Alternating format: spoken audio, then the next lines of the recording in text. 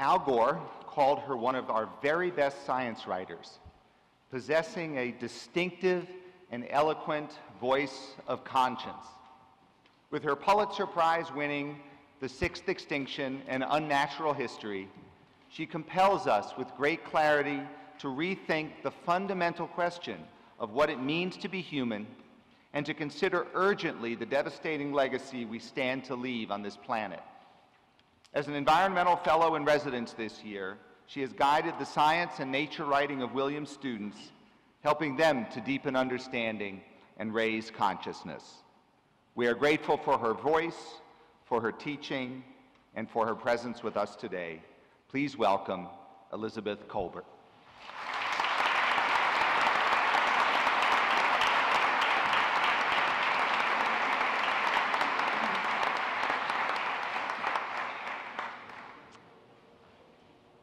Good afternoon, everyone.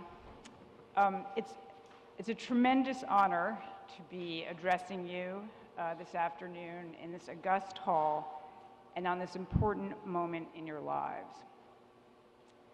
Commencement is a key rite of passage, one of the few rites that those of all faiths and all denominations, and also those of no faith and no denomination, can fully participate in. It's an occasion that celebrates the accomplishments of each of you whose names will be read at tomorrow's ceremony, and also of a great many people who will go unnamed. Your high school teachers, your friends, your professors, your parents, who have helped make this moment possible. And one of the great things about Williams' graduation is the way this rite of passage is enacted. Tomorrow, when you pass through Hopkins Gate, you will be moving from one stage of life to another, passing from college, metaphorically, but also literally, out into the larger world. And it may seem naive, or it may seem melodramatic, to suggest that you are making this passage at an extraordinary moment that this particular point in history is special, that you are living in an extraordinary time. But this turns out to be the case, which is both why I am up here speaking to you this afternoon and also what I want to speak to you about. I'm sure that most of you are familiar with the concept of the Anthropocene. Credit for coming up with the term is usually given to Paul Crutzen, a Dutch scientist who shared a Nobel Prize for discovering the dangers of ozone depleting chemicals. In the year 2000, so right about when you in the graduating class were starting grade school, Crutzen had a kind of epiphany. He was attending a conference, and the chairman of the conference kept talking about the Holocene, which, according to our textbooks, is the current geological epoch.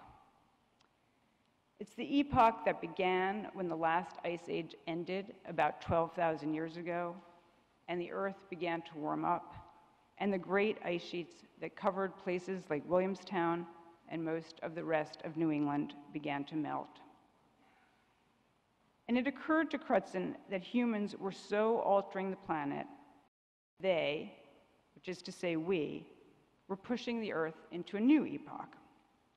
And he found this idea so compelling that he just sort of blurted it out at the conference. Crutzen is now 82 and in failing health, but I was fortunate enough to interview him a few years ago, and he recounted this story to me. Let's stop it, he remembered saying. We are no longer in the Holocene. We are in the Anthropocene. Well, he told me, it was quiet in the room for a while. A few years later, Crutzen published a paper that took this idea one step further. He compared the impact of natural processes on the one hand and human impacts on the other, and argued, pretty convincingly, I think, that humans are now the more significant force. For instance, he pointed out, we humans fix so much nitrogen in our fertilizer plants that we have overwhelmed the nitrogen cycle. We emit so much carbon dioxide from our cars and our factories and our power plants that we've thrown off the carbon cycle. We've changed the climate, and the effects of this will be felt, at a minimum, for millennia. We've altered the surface of the planet, mown down rainforests, and planted monocultures in their place, and we are in the process of altering the chemistry of the oceans, turning them more acidic. We've created entirely new chemical compounds and have produced them in such vast quantities that they can now be found everywhere, from the Arctic to the Antarctic, and also in the bodies of each and every one of us.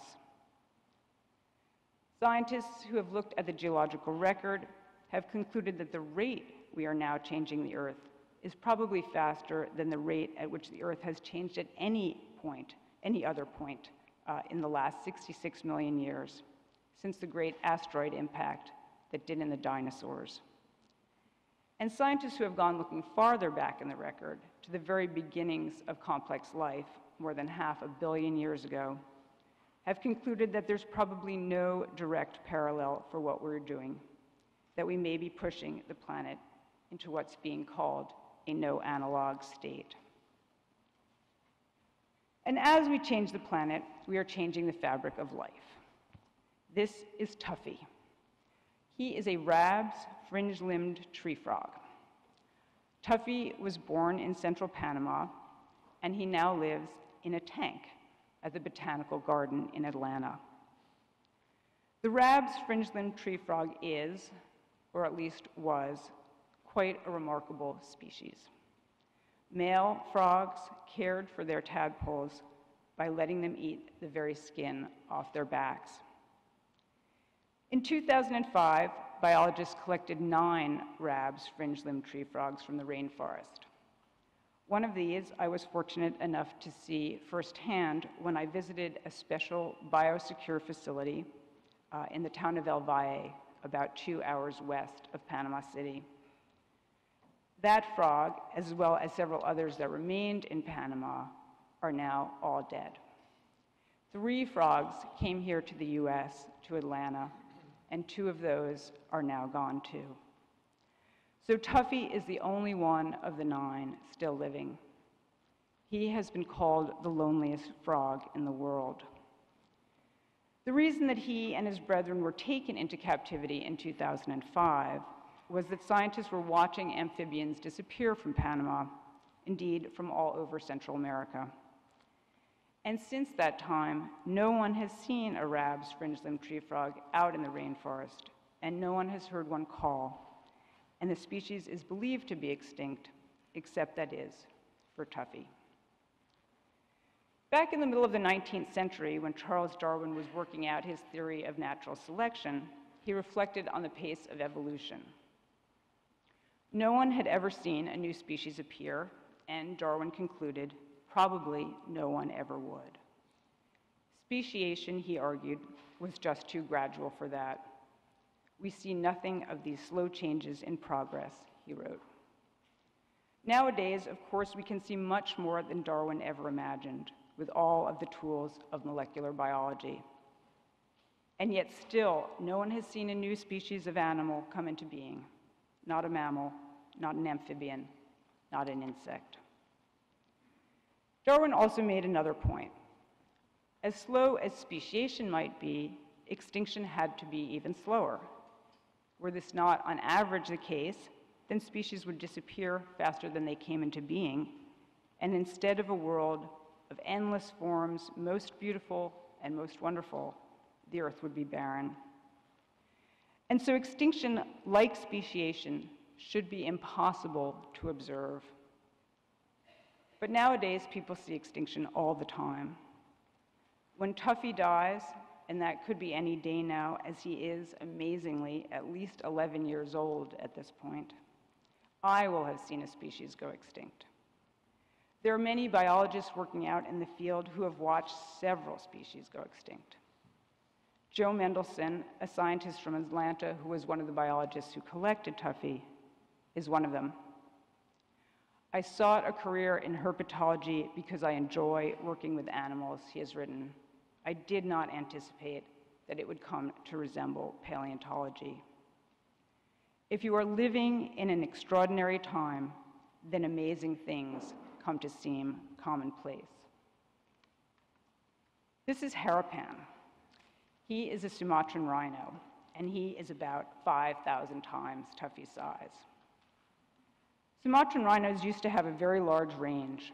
They could be found browsing from Bhutan to Malaysia, and they were so common that in some places they were regarded as an agricultural pest.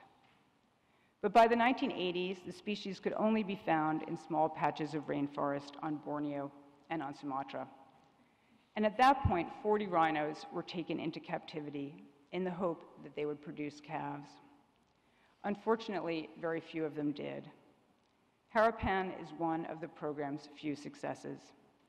He was born in 2007 at the Cincinnati Zoo, which is where I got to meet him a few years ago. His name in Indonesian means hope. Since the 1980s, the number of Sumatran rhinos has continued to decline, and it is now estimated that there are only about 100 left in the world. And so Harapan, all on his own, represents 1% of the global population. This fellow is Sirocco. He is a kakapo. As with the Sumatran rhino, kakapo are only just hanging on. There are exactly 126 left on the globe. Kakapo are the world's only flightless parrots. They are native to New Zealand, and again, like the Sumatran rhino, they used to be very common. You can read accounts from the 19th century in which New Zealanders complain about how the kakapo are kicking, kicking, up such a ruckus that they can't sleep at night. Today, all of the remaining kakapo live on two remote islands where their numbers are just barely sustained by captive breeding. The only one who ever leaves these islands is Sirocco, who sometimes goes out on tour around New Zealand, which is how I got to see him last year.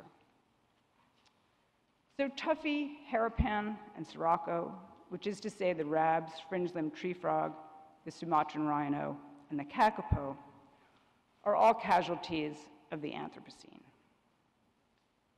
In each case, the proximate cause of their decline is different. For the frogs, it's a pathogen. For the rhino, it's deforestation. And for the parrot, it's introduced predators. But in each of these cases, the ultimate cause is the same. The world that we are creating is a world in which they cannot survive, except perhaps as exhibits, or if you prefer, as prisoners. This is Joel Sartore. In this shot, he has a red-tailed boa constrictor wrapped around his neck. Joel took the photographs I've shown you of Tuffy and Harapan and Sirocco. Here he is again doing a shoot with a Ridley sea turtle. His project, which sounds and actually is insanely ambitious, is to photograph every captive species on Earth. In some cases, there are still many members of these species left outside of zoos and aviaries and breeding programs, but in all too many cases, there are not. The animals are very rare, and in a growing number of cases, as with those that we just saw, captive animals are the only members of the species that remain. The project is called the Photo Ark, and as you can see, it goes beyond mere documentation. Joel has said that his purpose is to give a voice to the voiceless. He photographs all of the animals under studio lighting against a black or a white background because, as he puts it, all animals are equal. He even photographs insects in this way so that, and once again, these are Joel's words, a tiger beetle becomes as magnificent as a tiger. Joel has been at this project for 10 years now, and he's photographed something like 5,500 species. I'm just going to show you a very small sampling of his images, and only images of species on the very edge of extinction. The first animal that you're about to see, the Spix's macaw, which is native to northeastern Brazil, is in fact probably already extinct in the wild. The last one, the Sumatran tiger, is down to a few hundred individuals. You will notice that the tiger's image is projected onto a building. With Pope Francis's support, several of Joel's images were projected onto the Vatican in advance of the Paris Climate Conference this past fall. The Photo Ark project was conceived of at a time of grief. Joel's wife had just been diagnosed with breast cancer. And I think some of that grief, grief comes through in his images and also that love.